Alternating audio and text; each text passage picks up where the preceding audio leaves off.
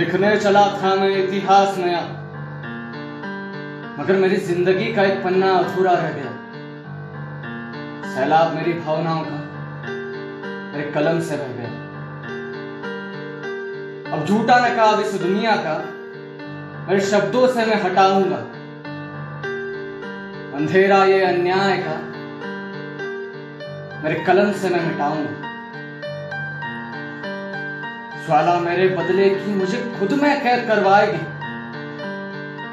सोच मतलबी ये मेरी, दुनिया से जंग लड़वाएगी। जज्बात मेरे भी अच्छे ही थे,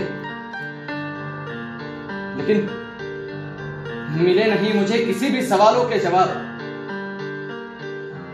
इसलिए अब मेरी शख्सियत ही ऐसी है, जैसे रेगिस्तान में कोई शराब, जैसे रेगिस्तान में कोई शराब